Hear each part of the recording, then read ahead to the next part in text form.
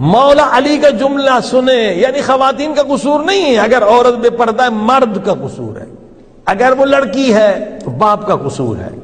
अगर वो बीवी है, शोहर का कसूर है। मौला अली ने कभी ये नहीं कहा कि औरतों को डांटे, मौला अली ने मर्दों को डांटा है। क्या फरमाया? मौला अली फरमाते औरत की बेपर्दगी मर्द के बेगैरत होने की दलील है।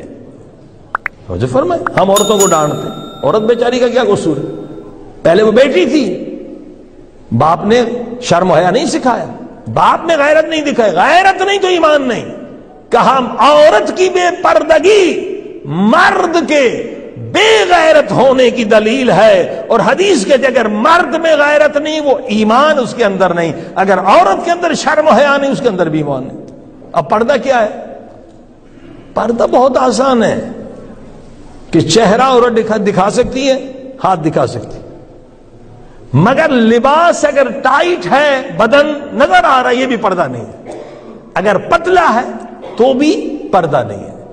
हदीस में है किसी की बीवी अगर तंग लिबास पहनती है या पतला कि उसका जिस्म नज़र आए, आसमान और ज़मीन के फरिश्ते उस पर भी लानत कर दे, उसके शोहर पर भी लानत कर उस पर लानत करते उसकी बेशर्मगी की वजह से। अज़ीज़, हम बीवी जैनब सलाम की चादर पे रोते हैं। अगर हमारी खातन बगैर चादर के चली जाए तो आजादार तो हम नहीं कहलाएँगे। आजादार गैरतमंद होता है। हा? और जो बीवियाँ हैं, जो बच्चियाँ हैं, उनके लिए मॉडल नमूना जनाब सैयदा फातिमत जहरा होना चाहिए।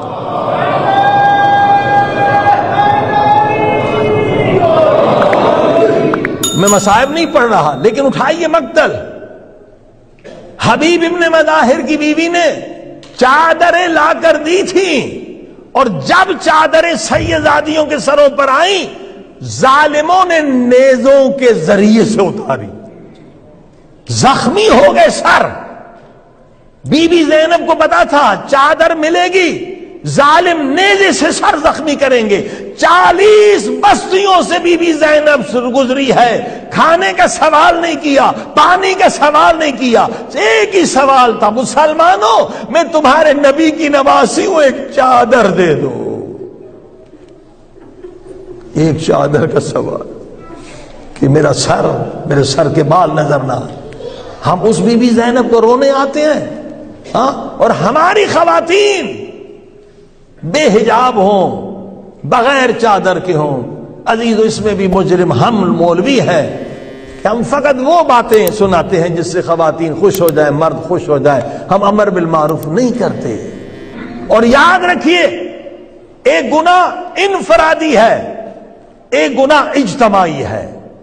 गुना इज्तमाही बहुत मुश्किल से माफ़ होता है। अगर एक मोमिना काला कपड़ा पहनती है और फिर बेहिजाब रहती है यह गुना हज़ार गुना ज़्यादा होता है। लोग कहेंगे, ये देखो शियों की औरतें हैं। देखो ये कैसे शिया बेगैरत है। शिया की औरत, देखो ये जा रही है बगैर हिजाब। अगर हिजाब नहीं करना है तो काले कपड़े की तोहीन न करें। काला कपड़ा काबतुल्लाह का खिलाफ है, इसका एहतराम है और पूरी कौम बदनाम होगी कि ये शियों की औरतें देखो बगैर हिजाब के जा रही हैं। मेरी बहनों माओ से गुजारिश है, अव्वल तो हिजाब वाजिब है, हिजाब करें। अगर हिजाब नहीं करना चाहती हैं तो कम से कम काले कपड़े को ना पहने। सरबात पड़ी मोहम्मद, वाले मोहम्मद।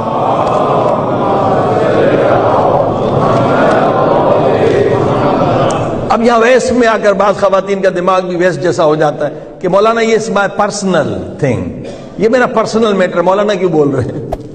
इस्लाम में कोई पर्सनल नहीं है। मोमिन मोमिन का भाई है, अमर बिल मारूफ करना है, चाहे पसंद आए या ना आए। हाँ?